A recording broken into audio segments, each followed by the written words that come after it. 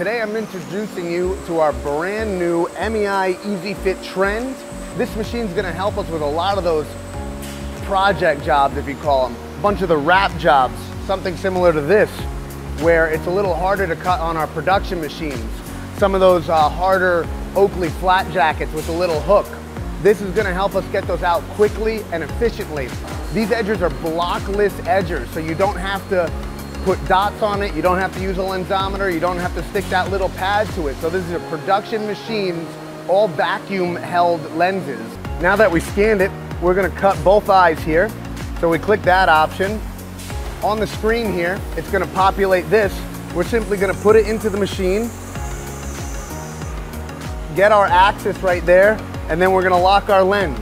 It's then gonna move to the next eye. We're gonna grab our left lens after the machine resets. It should only take one second here. I'm gonna put our second lens. The other eye was a sphere. This one's a cylinder, so I actually have to rotate it. And boom, just like that, we're locked, we're ready to go. Lens locked, now the machine's cutting. This machine's gonna be able to do about 40 lenses an hour. Now this isn't our main production machine, those are those machines behind me that you can see. This is, again, just for those specialty jobs that are going on. So now the machine's just finishing up here. Uh, it should open up in a second. Now the machine opens up.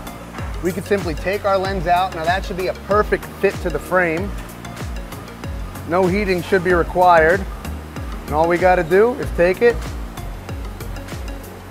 pop it in, and we're good to go.